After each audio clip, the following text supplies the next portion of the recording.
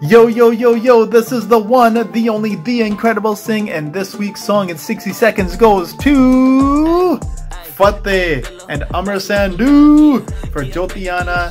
Fateh's rhymes are absolutely magical, and I don't care what anyone says, he's the best Punjabi rapper in the game today, in my opinion.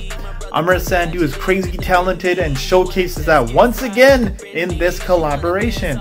These guys working together is definitely the right thing to do.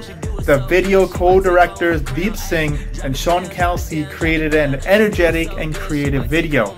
I especially like the chalk designs used on the board as well as digitally. But what really ties us all together is the beats by J. Statik. It's deep, it's dark, it pops, all at the same time. And that's why Jyotiana is this week's Song in 60 Seconds.